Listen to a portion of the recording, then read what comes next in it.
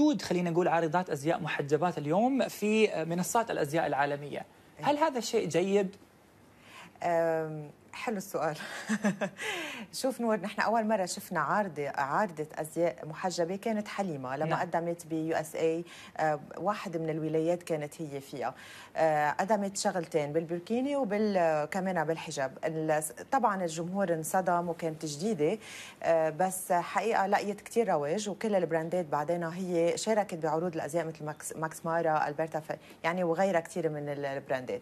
هل جيد أو مش جيد؟ أنا برأيي آه، لقيت استح... يعني الناس حبتها. ومثل ما في ناس في صبايا محجبات مش محجبات في صبايا كمان محجبات. نعم. فمش غلط وكثير حلو إنها تشوف الوحدة كمان حالها بعروض الأزياء بطريقة كمان modest تكون مرتبة ومحجبة. أنا for me برأيي ليش لا؟ it's it's an add يعني. طيب آه، يعني خلينا نقول مين أثر في مين ميسا؟ هل مثلا شركات الأزياء تأثرت بالحجاب؟ فعشان تي طلعت وحدة اليوم عارضة أزياء كحليمة وغيرها. هناك أيضا أعتقد ثلاث عارضات إذا ما خابني. صح. آه، ما, ما, إيه، ما كانت إيه، المعلومة إيه، خاطئة. ولا آه، خلينا نقول الحجاب هو نفسه أثر على الشركات وفرض نفسه أن تعالوا نحن موجودات جيبونا نور آه، نور في في حالة اللي هي بتفرض حالها. بالنهاية ال market نفسها في مثل ما قلنا ناس آه، بنات صبايا محجبات وفي عدد كبير مش محجبات مثل يعني والعكس صحيح. فالبراندات نفسها نعم. لقيت لا اللي هي بحاجة إنها هي تصنع ويكون هيدا جزء من اللي هن كمان بيعملوه as brand يكون في عندهم آه، تياب خاصة فيهم الشالات خاصة فيهم. يخلقوا brand أو line معينة لهيدي الصبايا تتقدر هي تكون على الموضة تكون محتشمة وتلحق كمان ال- البنات وتلبس مثل البنات اللي مش محجبات نعم من كم سنة يعني خلينا نقول ست أو سبع سنين تقريبا نعم. في بعض المصممين العالميين مثل خل... مثل روبرتو كافالي عمل. خط لل- للشيلة والعباية خاص في الخليج صحيح. وصاروا بعض ال- ال- الع- المصممين أيضا يسوون هذا الشيء مزبوط. ليش لأن شافوا الخليج إنه سوق Market طبعاً. ولكن بعدين في السنوات الماضية السابقة اللي هي قبل سنتين أو ثلاثة حتى خلينا إيه. نقول السوق قرب إلى المحجبة أكثر هل okay. من من وجهة نظرك اليوم كخبيرة في عالم الأزياء أيضا أن هذه موضة وتزول ولا هذا market جديد انفتح شو هو بالضبط؟ لا بعتقد هي ماركة جديدة يعني ما- market جديد أو line جديد، جديد, نعم. سوق جديد وانفتح وبده يكمل. حلو. لأنه بدي أقول لك شغلة نور ما عادت الحج- السيدة المحجبة اللي هي بس بتروح وبتنقي أو بتختار تياب بتكون modest conservative محتشمة بطريقة معينة. نحن صرنا كسيدات بالمجتمع أو بالشغل وهيك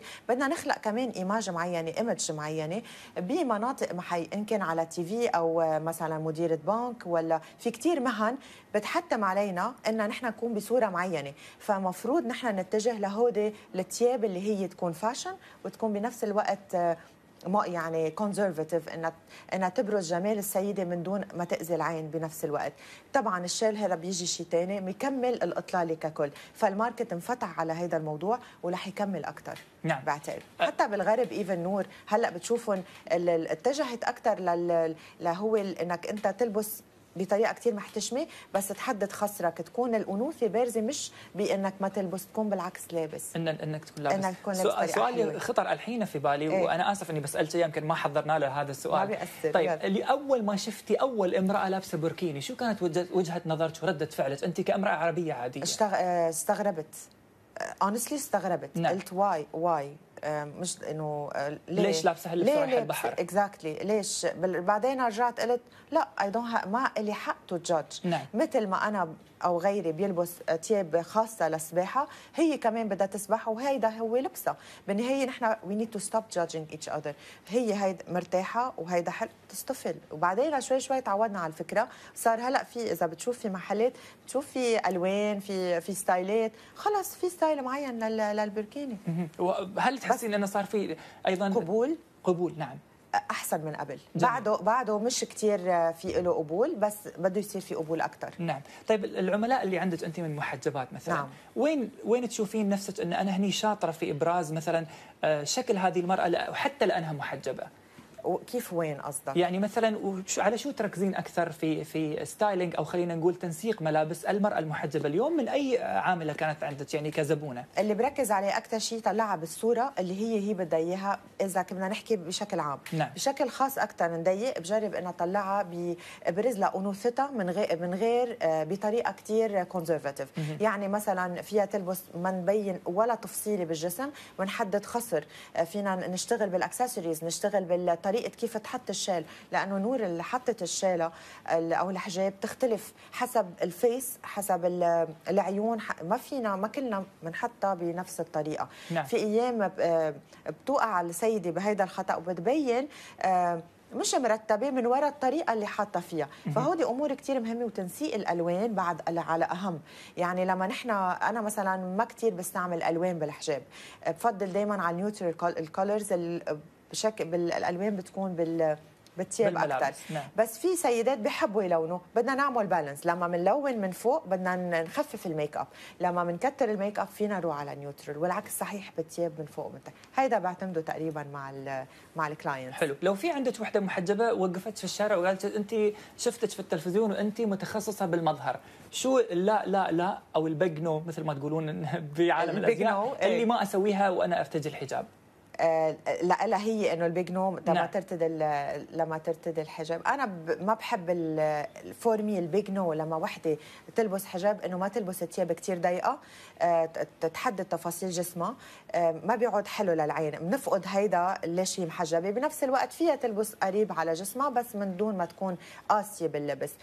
ما بحب تعجيق تعجيق الألوان وإنه تكون كثير attractive لدرجة أكثر تكون attractive من من صبية ما محجبة. إذا هي عن جد فعلا عم تشتغل على image إنه هي conservative محجبة هيك. أما إذا هي فاشينيستا وعم تلبس حجاب بالنسبة إنها هي بدها تبرز وبدها تكون attractive هيدا شيء ثاني نور different آه لأنه في عندي سيدات أو clients هن fashionistas بساعدهم كيف ننسق على بعضهم بطريقة تشدوا العين.